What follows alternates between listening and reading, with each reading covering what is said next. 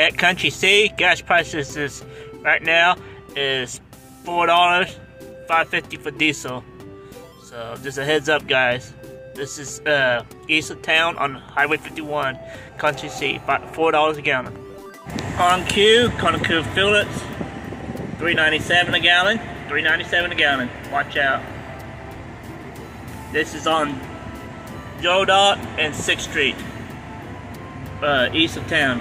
Walmart Neighborhood Market is 380, 380. And if you have the uh, app, uh, I think it's minus three or five cents.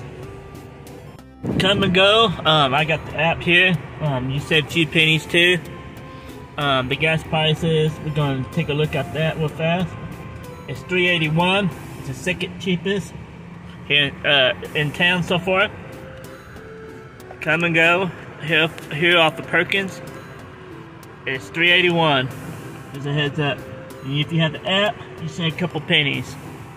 About three to five cents.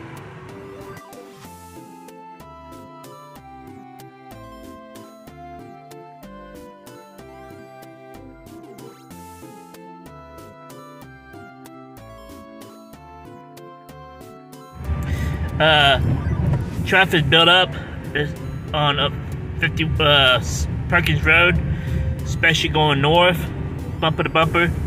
Um, it's pretty much to the uh, pretty much uh, standstill, and um, it was going slow on south, but we're just not picking up uh, to normal speed on south bound.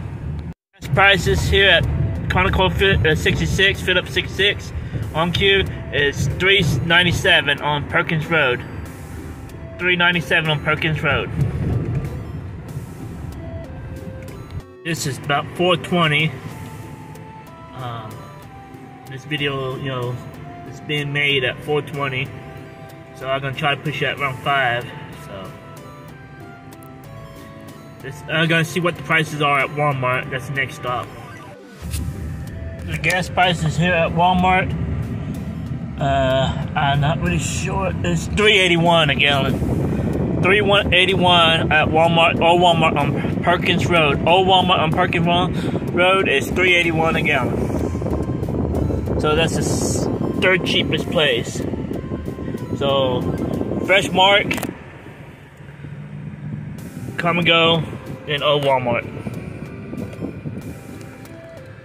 Everybody else want four dollars a gallon or close to four dollars a gallon. So the cheapest ones, like I've mentioned, is uh, going to be those uh, gas stations here in Stillwater, Oklahoma, in Payne County. Stand by for gas station prices part two. We'll be exploring the west side of town instead of central and east side of town.